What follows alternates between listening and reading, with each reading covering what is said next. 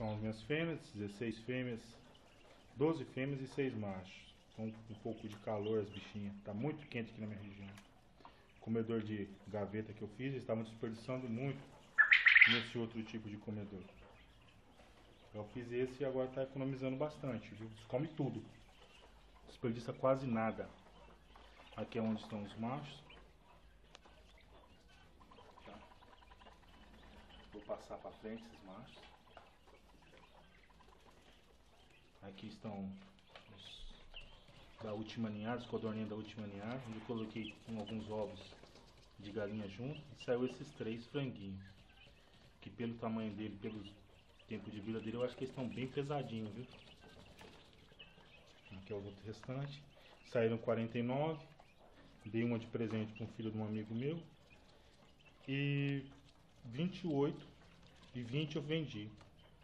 Então, tem 28 aqui ainda, né? Que é a minha chocadeira, a primeira que eu tive. Fiz algumas adaptações nela.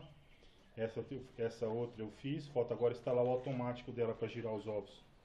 Já tenho o termostato, já tenho o temporizador, tá tudo já certo. Falta só instalar o motorzinho lá atrás, está comprado também. Aqui a pinteira que eu fiz. Nasce na chocadeira, vem pra cá para acabar de eclodir e nascer os filhotinhos aqui. Ela tem uma lâmpada lá dentro. Vou colocar um termostato para regular a temperatura dela também. E tem quatro pintinhos de Nagasaki. A luz está apagada porque está muito quente aqui na minha região. Sem nada, sem aquecimento, nada, está dando mais de 38 graus. As bichinhas tá sofrendo bastante. Então esse é o meu viveirinho. Tem esse outro gaiolão aqui, se caso necessário. Seja necessário, eu posso usar para colocar também pintinho. É isso aí. As codorninhas hoje estão com 16 dias, pesando em média 75 gramas cada.